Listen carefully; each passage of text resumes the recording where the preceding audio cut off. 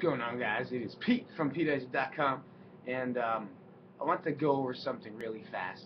Not only something I've read, but I've been reading, is when you are learning something new and you're trying to do something um, that might be out of the ordinary, people just will think you're crazy for doing it because it's your new pattern of thinking, it's your new uh, mantra for the week or for the month.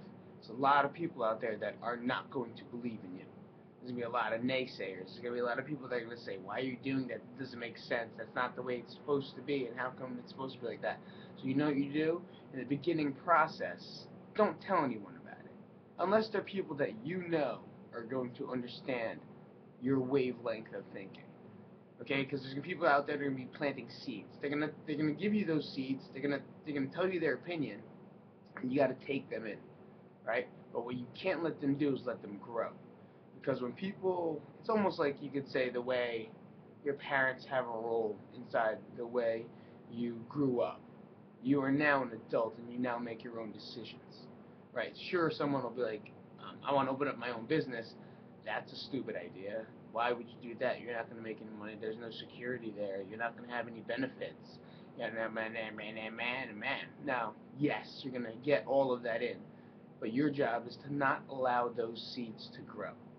Okay, so if you're starting something new, and I'm starting a little bit something newer that people aren't going to understand or get, no need for me to talk about it because I don't think anyone will understand it. So why should I get feedback that's going to negatively affect the way I think? think about that.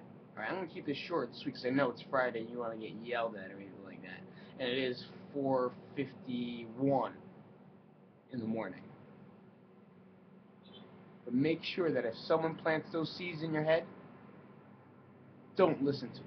They're going to settle in. Don't listen to those seeds. And don't allow them to grow. Alright guys, hope you enjoyed that. Have a good day. Like, subscribe, share, and comment. Peace out, guys. It's PeteIsip.com.